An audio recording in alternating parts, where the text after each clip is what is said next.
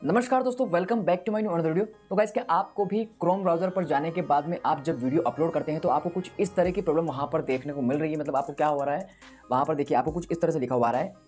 Verify that's you that's it's you और नीचे just आपको to continue your season complete very verify verification this extra step help us to keep your account safe by making sure that's really you और उसके just नीचे लियर more and proceed इस तरह से आपको कुछ एक एरर वहाँ पर शो हो रहा है, आप वीडियो अपलोड जो है नहीं कर पाए। तो आपको मैं सारी प्रोसेस जो है मोबाइल पर दिखाने वाला हूँ तो यहाँ पर आपको साइड में एक मोबाइल की स्क्रीन नज़र आएगी, वहाँ पर आपको नज़र बनाए रखना है, ठीक है? सबसे पहले मैं आपको अपना मोबाइल फ़ोन में ले चलता हूँ, ठीक है? यहाँ पर मैं अपने मोबाइल की स्क्रीन रिकॉर्डिंग ऑन करता हूँ, ठीक है? उसके बाद में आपको यहाँ पर ध्यान रखना है, ठीक है? अब जैसे ही आप अपने क्रोम पर जाते हैं तो आपको कुछ इस तरह से वहाँ पर एरर शो हो रहा है तो आपको करना क्या है? आपको सिंपली से करना ये है कि आपको अपने प्ले स्टोर पर जाना है।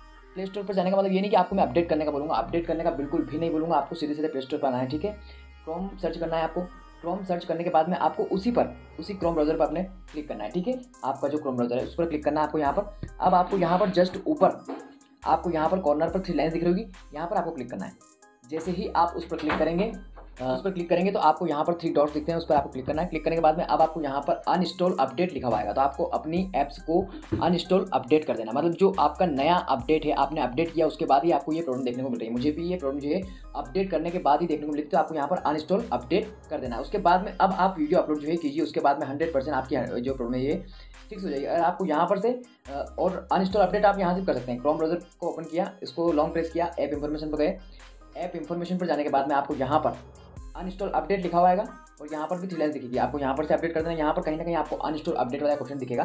तो वहाँ से आपको अपनी कुल मिला के बात यह है कि आपको क्रोम ब्राउज़र को अनस्टॉल अपडेट कर देना मतलब आपने अगर अपडेट किया हो तो उसको अनस्टॉल कर देना ठीक है? अपडेट अनस्टॉल उसको अनइंस्टॉल नहीं करना है, ठीक है? उसके बाद में अब आप देखिए, आपकी प्रॉब्लम जो है हंड्रेड परसेंट फिक्सड हो चुकी है। क्योंकि मुझे भी ये प्रॉब्लम जो है आ रही थी, मैंने उसको ऐसे ही ठीक किया।